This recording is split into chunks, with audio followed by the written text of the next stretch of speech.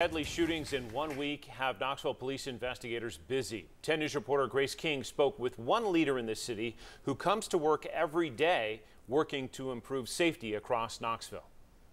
It's difficult to say, you know, when or why these things may happen, but it's important for us every time um, that we rally as a community to support those who have lost their loved ones. On November 23rd, police say they found 49 year old Frank Vincent dead outside a home on Fifth Avenue. At least two others were shot, but KPD says their injuries weren't life threatening. On November 24th, Thanksgiving Day, KPD found 27 year old Martell Thomas dead in a car on McConnell Street. Authorities believe it was a targeted shooting. And on November 27th, this past Sunday, KPD found two people dead inside a home on Graves Street with apparent gunshot wounds. They haven't released much more. Knoxville Community Safety Director LaKenya Middlebrook says she hopes their prevention work will become a long term solution. We did not get to these places overnight.